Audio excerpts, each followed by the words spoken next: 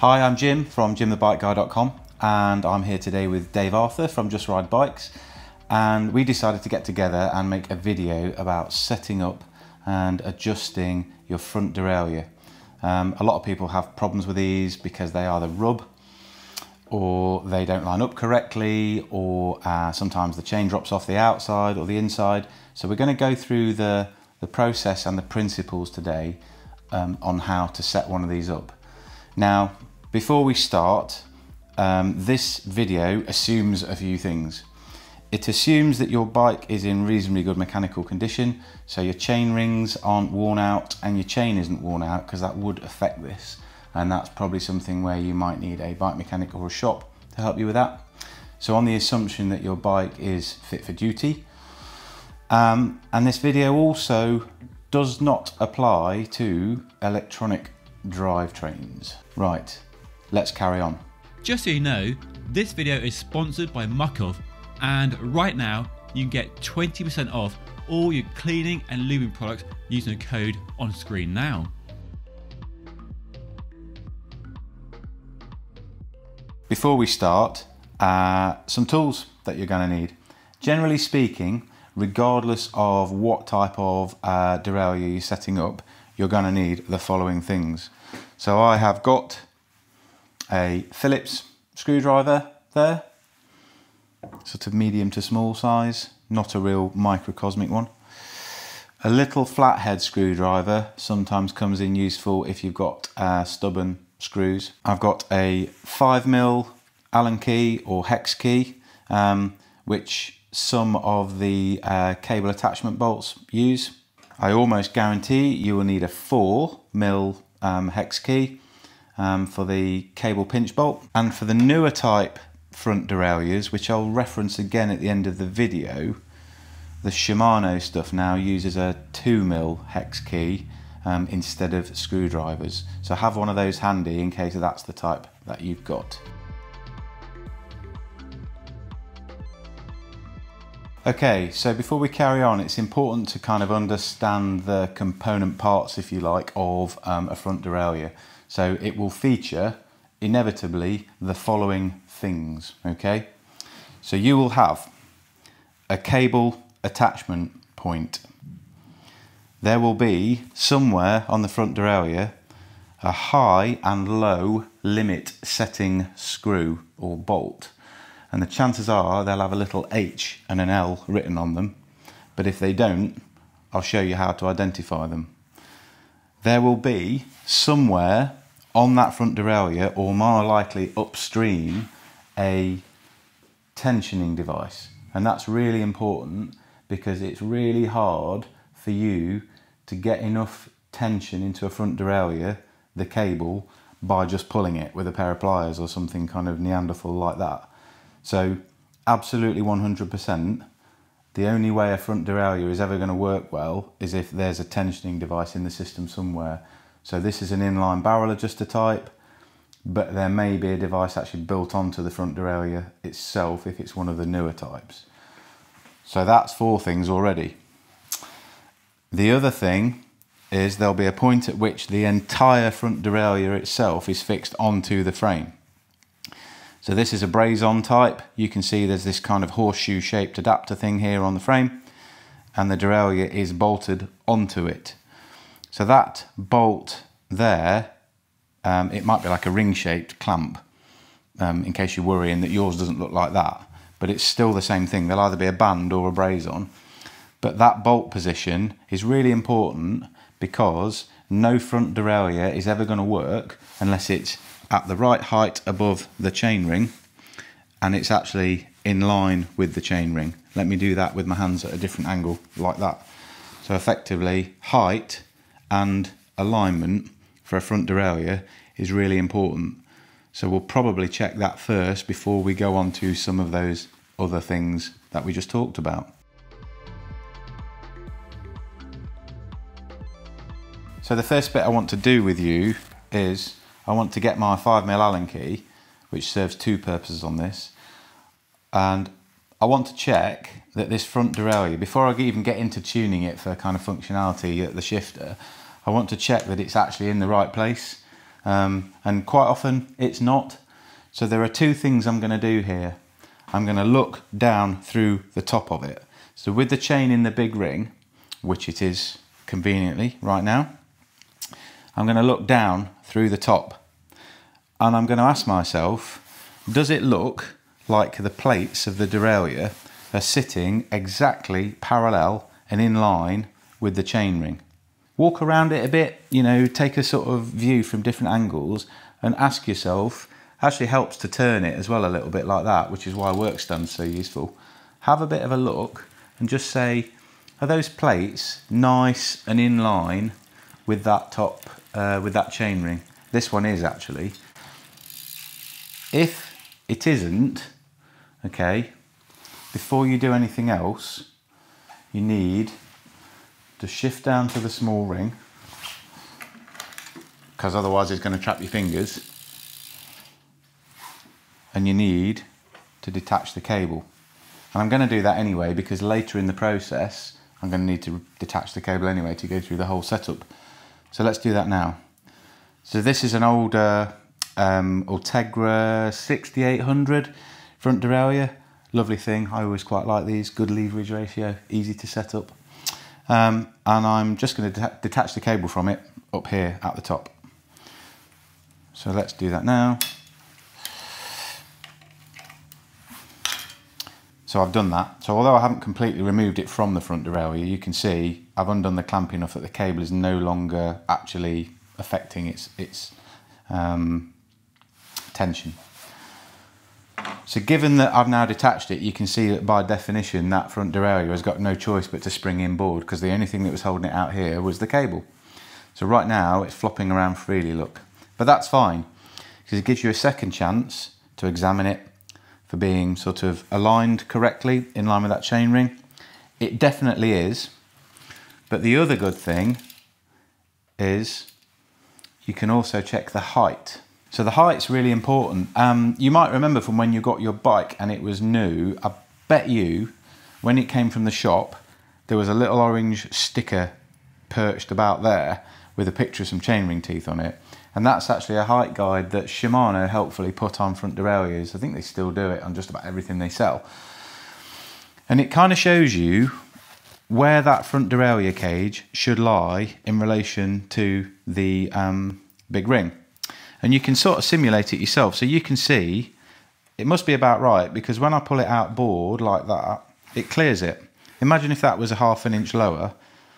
As soon as I did that, it would belt these teeth. And a good little measurement, which I think uh, was said to me years and years ago, but it's proved as a rule of thumb pretty good. If you can get a pound coin in there, that's pretty good, to be quite honest with you.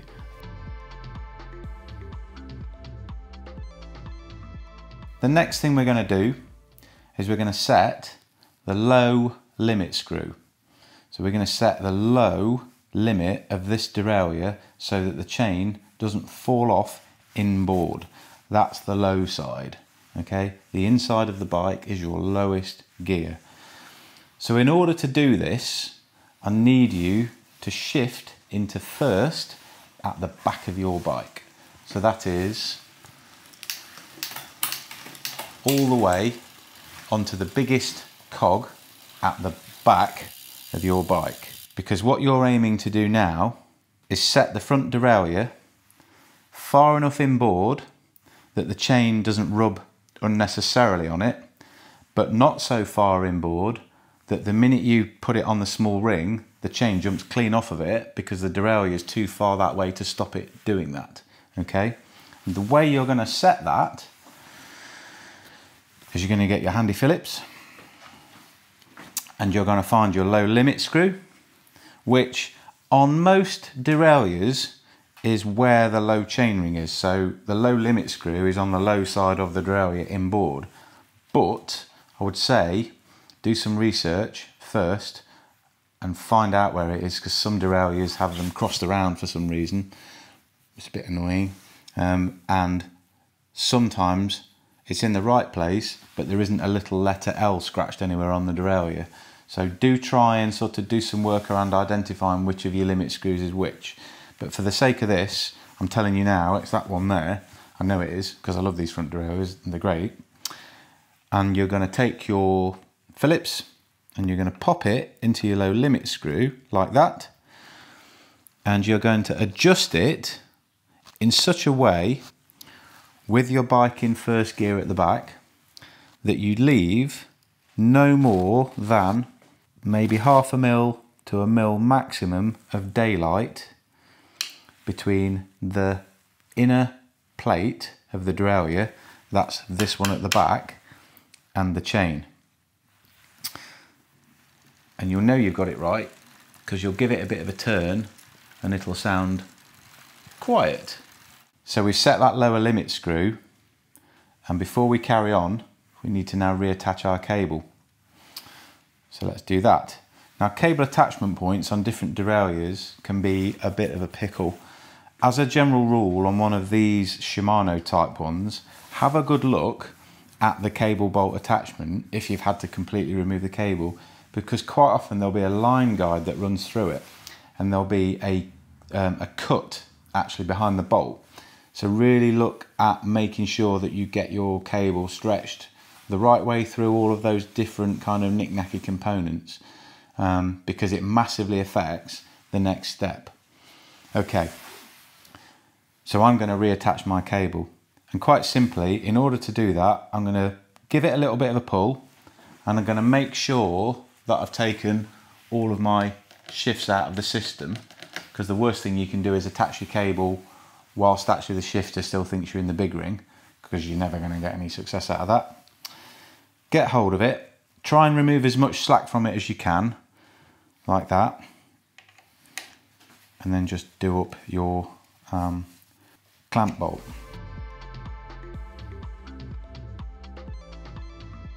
So without any cable tension, this front derailleur is never going to work that well. Let's try and demonstrate it now. So I've just reattached the cable, I've established my lower limit and I've reattached the cable and I'm going to go for a shift. Let's see what it does. Yeah. So it's trying, but it can't do it. And that's because downstream, the cable is just too slack. So let's tension that cable.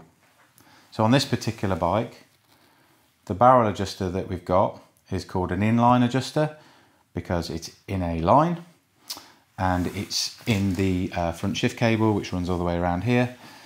And the way that these work are rather like the uh, frets, I think, on the head of a guitar, those key shaped things that kind of get you a better note. You know, you string the guitar string tighter and then it comes into tune. Well, that's kind of what we're going to do here. So all you do is as you wind this thing out, it separates the two halves and pulls the slack out of that derailleur cable. Now I'm going to sound a note of caution here. This hardly ever works first time with this type of system. Quite often what happens is you'll go all the way out and there'll be a max limit adjuster on this somewhere and even then sometimes it's not enough. But let's see what happens.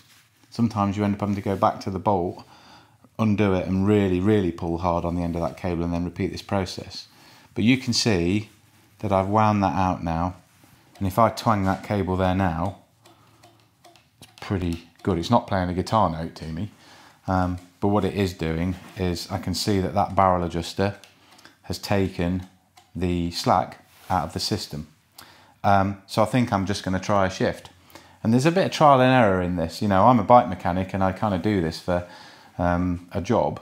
And quite often you have to have two stabs at setting up a front derailleur because they just are annoying things, quite frankly. Um, but let's go for it.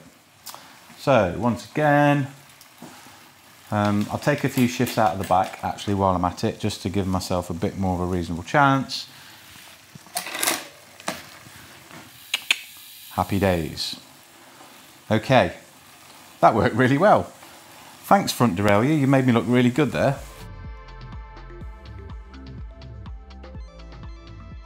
Now you might think, we're done now.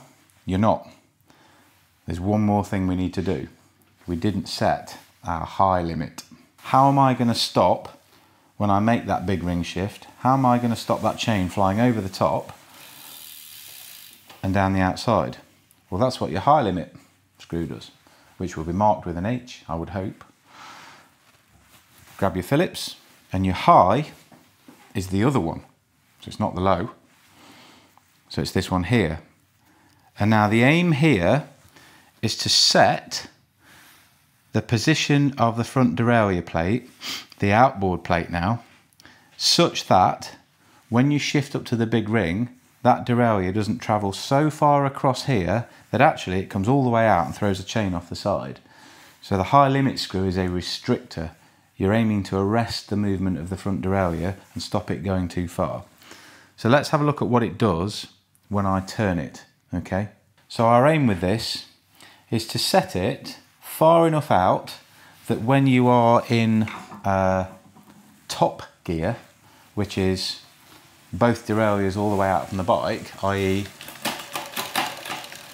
that one there, your fastest, meatiest gear, it's not rubbing on the outer plate of the derailleur, but you're also aiming to restrict its movement that it doesn't come clean over the top. So you need to put your bike in top, which on this one is technically speaking 11th or 22nd, depending on how you want to kind of um, view it.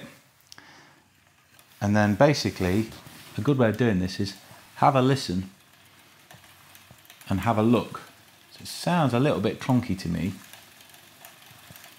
That's the sound of the chain rubbing against the inner plates of this front derailleur. So what we really want to do is remove a little bit of restriction from it. And the other way to check this is you can still manually activate the derailleur with your hand like that. So if you want to, you can still move it and see um, is there any sort of there we go look. So I've let the screw out a little bit more and with my hand I'm checking how far outboard the front derailleur actually wants to travel. And that's gone quiet now because effectively that little bit of me winding the limit out has just released it far enough outboard that when I go into top gear I'm not getting that rub but it also means I haven't released the limit enough for it to go too far outboard. And I'm going to demonstrate that principle now. So I'm going to wind the limit right out on this front derailleur and show you what happens when you've got no limit whatsoever. So let's go all the way out with that screw. Here it comes, look. And I'm going to manually throw the chain off the top for you. You ready? Over we go.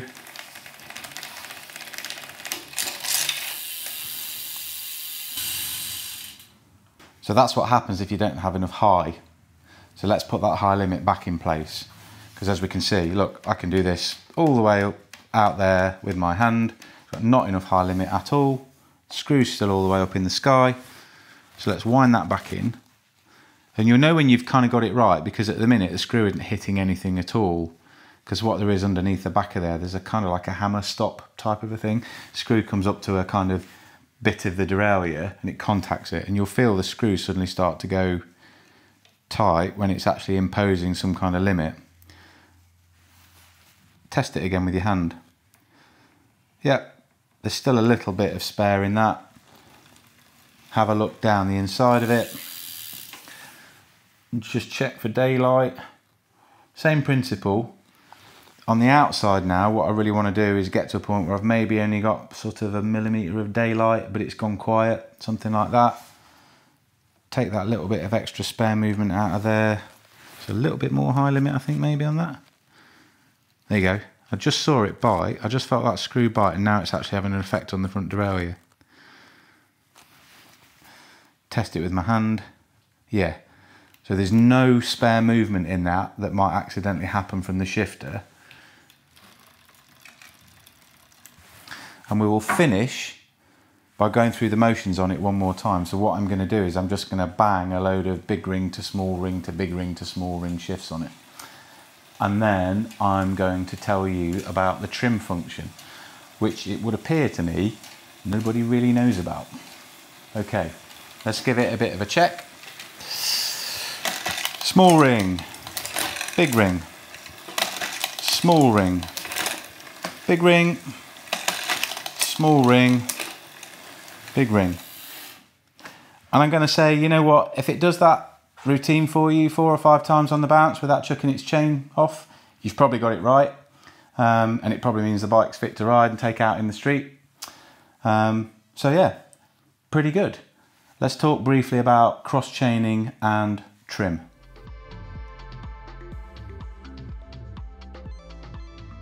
So while we're on the subject of uh, front derailleurs, it's probably a good time to cover um, cross chaining, which is a controversial topic, um, but I better tell you what it actually is. So cross chaining effectively is when you are uh, sending the chain diagonally across the drivetrain would be a good way of putting it because you've got a two by system at the front so your chain's either in the big ring or the small ring. And a good way of sort of thinking about it is you've gone big big. So I'll do it now okay? So we're big at the front and we're going all the way to the back all the way into third and I'm hoping that you can hear that noise there now. And quite often, you can hear it again. Quite often, I'll service a bike for someone, and within a few days, they come back to me and they say the gears aren't set up right. And it's because they're cross chaining, and no one told them that if you do that with the chain and bend it all the way across like this, so it's no longer in a line, but now it's doing that, inevitably the chain is going to start clouting the inside of the front derailleur and making a noise. Um, there's nothing you can do about it. It's built into the system. Or is there something you can do about it? Yes, there is. There's a trim function. So the trim is a half shift on your uh, left-hand shifter over here. And what it's for, it's for this exact situation where you are um, still in the big at the front, but you want to throw it into first gear at the back. So you want to cross chain briefly, maybe because you're on a bit of rolling terrain and you don't really want to go into the first gear, but you want to take that annoying noise out of the drivetrain.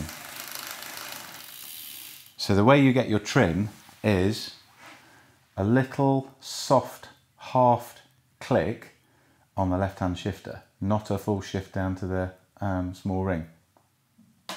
There it was. And what that does imperceptibly is it moves the front derailleur inboard just enough to quieten it down when you are cross chaining. That's gone beautifully. This is a really good front derailleur. So you can hear now, I'm cross chaining all day long and that noise has gone out of it because I've trimmed the front derailleur with that half shift on the left lever. It does require you to get a feel for it. It's not a full click.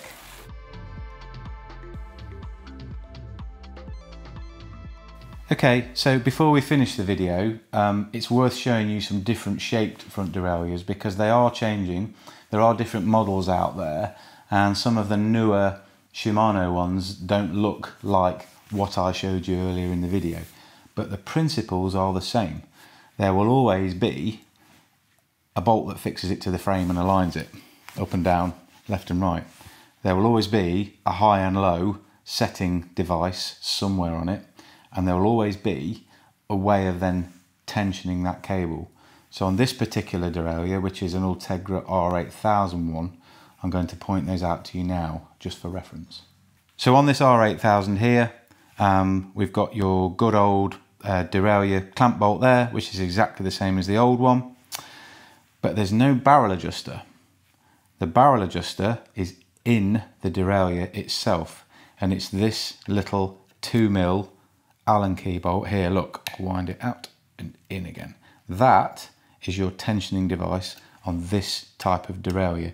And I think from memory, the new 105 stuff is exactly the same shape as this, as is the last lot of mechanical Dura-Ace, um, which doesn't exist anymore. The limit screws on this type of derailleur are hidden inside the back, but they do have a little L and an H on them, which is brilliant. And they're in there and the whole lot on this derailleur is done with a 2mm hex bolt, which is fantastic actually. So you are looking to adjust that one and that one. It is written underneath them and I think that they work the opposite way to the old screw type. I think on these when you wind them in, the derailleur goes the other way. But it doesn't matter because ultimately, one way or the other, you've still got to set those limits as per the system that I told you. And the only other difference to this is it's really hard to find the clamp bolt on one of these and it's because it's hidden under that rubber cover there and the cable routing through them um, take a photo of it before you take the cable off is probably the best advice I can give you because it kind of does this and goes all the way around through it and comes around the back um, but it's not difficult once you understand it but it still works the same way as a normal front derailleur so I've been Jim from Jim the Bike Guy here with Dave Arthur. I hope you've enjoyed the video. I hope it's been useful.